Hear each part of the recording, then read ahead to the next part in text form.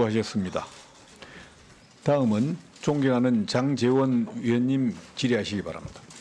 자랑스러운 우리 부산 사상구 출신 장재원 의원입니다. 후보자님, 예, 조국의 위선의 끝은 어디인지 같이 감상해 보시겠습니다. 주십시오. 시점에서 제가 만약에 오천적파에 전화를 하게 되면 무슨 오해가 될지 모르겠습니다. 제가 오천적파 전화를 뭐 해서 무슨 내용을 말했는지를 아마 묻게 되실 겁니다.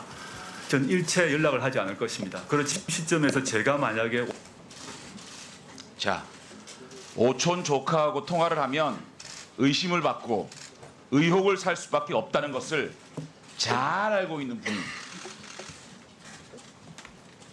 동양대 총장과 직접 통화를 합니까? 답변 드리십시오. 하십시오. 네, 그거는 저 보도를 보았습니다. 어, 제처가 이 통화를 했습니까? 안 했습니까? 예, 제처가 통화한 했- 끝 자, 끝에 조국, 조국 수석과 후보자와 통화를 했습니까? 안 했습니까? 제처의 통화 끝 통화 끝에 받아서 자, 하지 않았습니까? 그죠?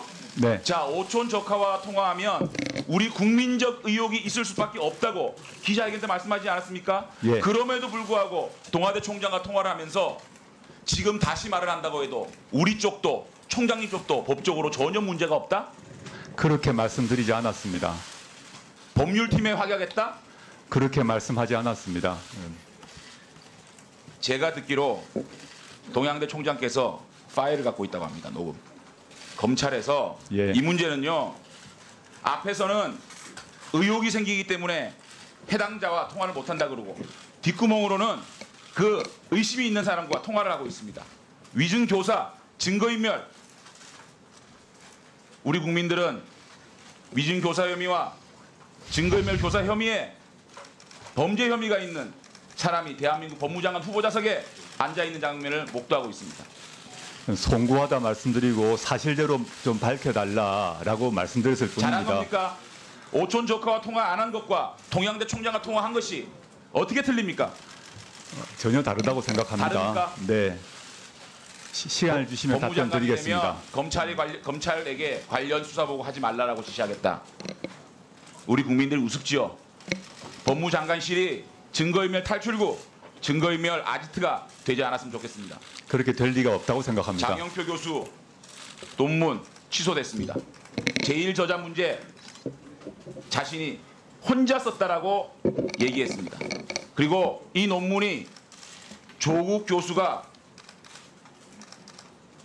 관여를 했다라는 위원회에서 나왔어요. 전혀 사실이 아닙니다. 사실 아닙니까? 저 제가 어떻게 거기 관여를 하겠습니까? 이거는 뭐죠? 조국 교수의 파일에서 이게 두, 두 번이 조국 교수의 컴퓨터에서 나온 겁니다. 저희 집에 있는 PC 두 대가 있는데 제 서재에 있는 컴퓨터들을 제 처도 쓰고 저희 아이도 씁니다. 자, 봉주대 그것이 자, 봉- 어떻게 제가 그 알겠습니다. 문서를 알지도. 못하는 문서를 작성을 하겠습니까? 봉주대 교수님께서 부인께서 직접 부탁을 했다고 실토했습니다. 아직까지 딸의 논문과 관련돼서 후보자와 후보자의 처가 전혀 관련이 없다라고 말씀하시겠습니까? 제가 누누이 밝혔습니다마는 거의 저희 딸이 그 교수님 포함해서 여러분에게 이메일을 보냈습니다.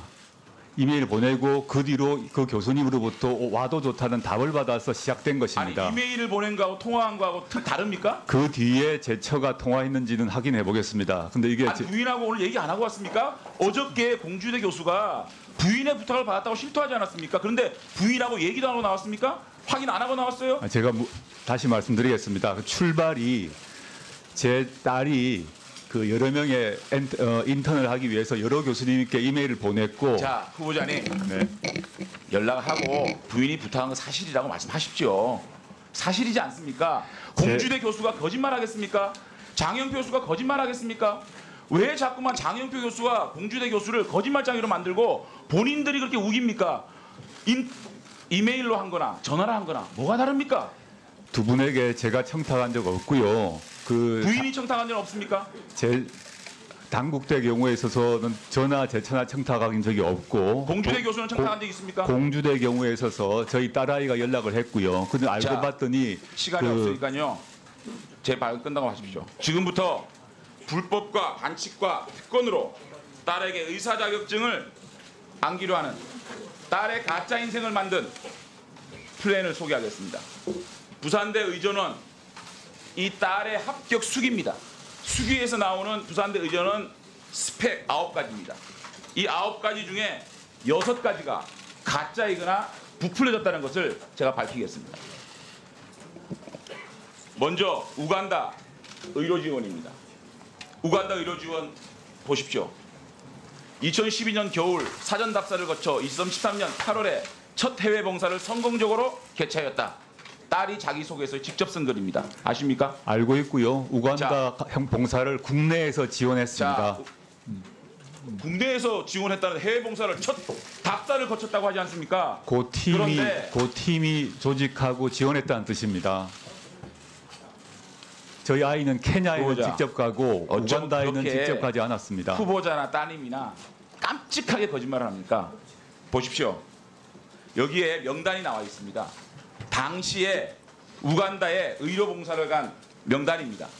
이 명단에 조 씨는 한 명인데 조인으로 시작합니다. 조민이 아니고. 자, 그리고요.